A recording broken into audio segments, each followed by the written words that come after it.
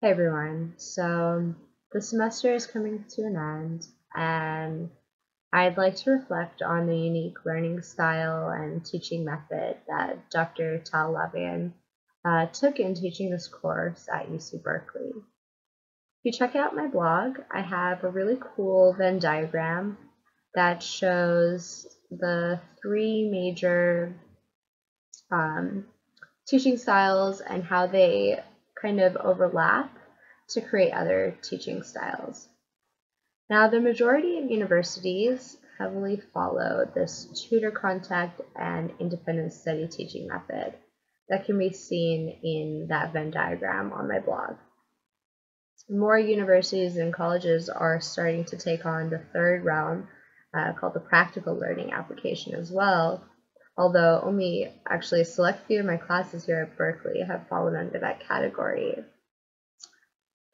Out of those select few, they've actually been some of my favorite courses, but IOR 190G has been the only course to follow the social networking category, which is part of the overlapping um, branch within the center of that Venn diagram. If we check out the diagram very carefully in my blog post, you can see that social networking falls under all three core teaching methods, tutor contact, independent study, and practical. What's so great about um, network, the social networking platform to learning is that it creates a space for the students to collaborate, learn from each other, and offer support to one another. And in addition to learning, we're able to create a closer community and make friends.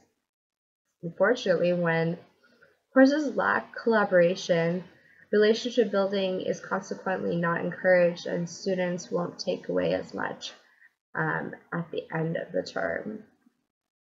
So the great thing that the social networking approach has to offer um, in learning for students is creativity. We have time to think and compose our thoughts and then further develop them. Uh, and because social media is relatively informal in its uh, content presentation, we can express ourselves and our thoughts in our own unique individual ways. We're not uh, restricted to these box kind of uh, parameters. I enjoyed this, uh, the social media aspect of the course because it felt a lot more hands-on than any course I'd ever taken.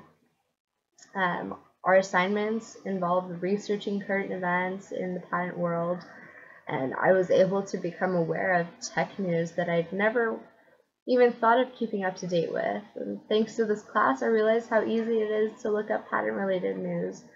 Google has a page under their news section um, because of this class, I've become interested in keeping up with The Economist to stay ahead of market news and changes. And lastly, I've come out of this course with some friends, and uh, it's just honestly been a really wonderful experience. So thank you so much, and I hope that everyone else in our course has enjoyed it as much as I have.